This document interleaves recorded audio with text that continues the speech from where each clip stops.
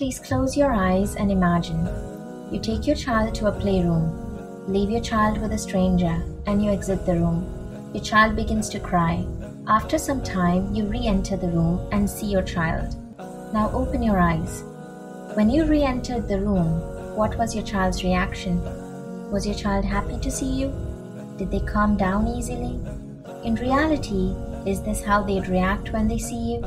If yes, well done, you are on the right track. If that's not the case with your child, and if your child looks angry or simply ignores you when you return, you have some parenting homework to do. If you learned something new, tap the follow button. Thank you so much.